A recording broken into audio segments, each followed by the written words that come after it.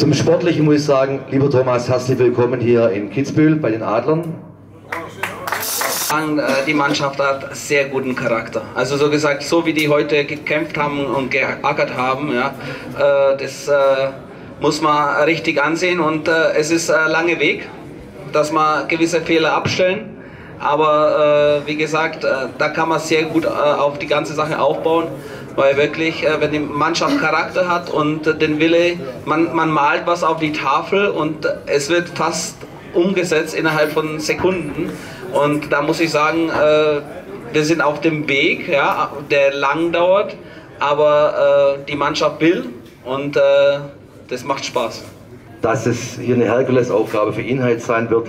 Der Einstand ist leider Gottes nicht nach Maß ähm, gewesen heute. Aber wie es ist im Sport, ich denke, wir arbeiten dran, das kann er nachher am besten selber erzählen.